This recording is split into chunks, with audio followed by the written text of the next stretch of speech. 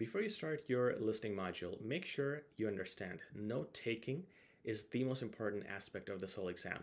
If you have the whole transcript of what was said in all parts, and then you have the questions, you can answer everything, right? So understand the importance of note taking. Here, you have to learn how to handwrite again. I know we're all on computers these days, but you have to write, you have to learn how to do handwriting again with a fast speed and you have to multitask.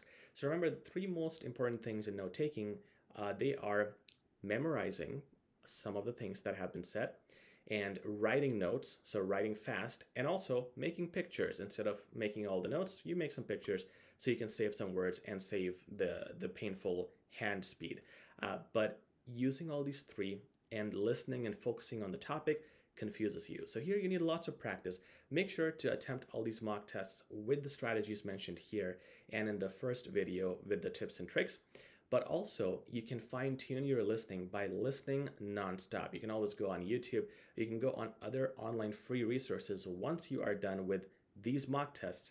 And again, just like with reading, do the same thing with listening. Play a video, 20 seconds, 30 seconds, pause it, and then revise it. Say the same thing again. Explain it to yourself. This will help you understand the listening context, the interpretation, and it will help you paraphrase a lot of the words because in the exam and questions, they're going to be paraphrased as well.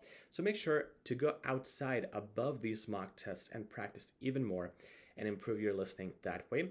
We also have a CELPIP all-inclusive course, which you'll find right here on this website.